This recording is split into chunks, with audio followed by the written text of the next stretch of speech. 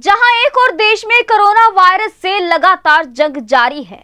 वहीं मध्य प्रदेश के मुरैना ज़िले के अस्पताल में पदस्थ ऐसे ही कोरोना फाइटर्स हैं जो कोरोना से जंग लड़ रहे हैं। साथ ही इस जंग के लिए उन्होंने अपनी शादी को भी आगे बढ़ा दिया है। एक लड़की के लिए शादी का मौका ज़िंदगी का एक अहम हिस्सा होता है। उसमें भी पहले से शादी तय हो चुकी हो और अचानक से शादी को कैंसिल करना तो लोगों को बहुत परेशानी होती है। पर जिला अस्पताल में नर्स के रूप में पदस्थ दिव्या कुशवाहा, रीना काटरे साधना, परमेश सहित कुछ अन्य कोरोना फाइटर्स ने अपनी शादी को कैंसिल कर इस जंग को जारी रखा है। इनके अनुसार इस समय देश को और अस्पताल में आ रहे मरीजों को उनकी ज़रूरत है। शादी तो बाद में भी हो सकती है। इसलिए इन लोगों ने अपने घर वालों को भी ये बात समझाई और कोरोना से जंग जारी रखी है।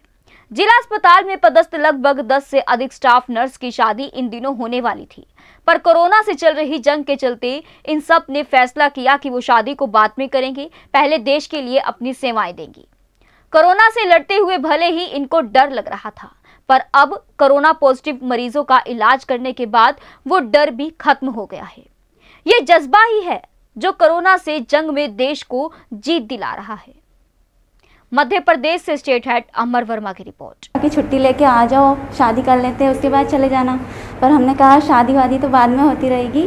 फ़िलहाल अभी जनसेवा ज़रूरी है पहले वो करते हैं फिर शादी एक दो महीने बताइए कि दोनों पक्ष से पाँच पाँच लोगों को बुला करके और मैरिज कर लेते हैं। तो फिर मैंने बोला नहीं पाप पिताजी पहले जनसेवा हमारी ज़रूरी है हम हम लोगों के लिए हमारी सेवा ही है कि मतलब जन सेवा करना, लोगों को ठीक करना, उनका मनोबल बढ़ाना और प्रदेश के साथ साथ हमारी मुरैना में भी कोरोना जैसे महामारी फैल चुकी।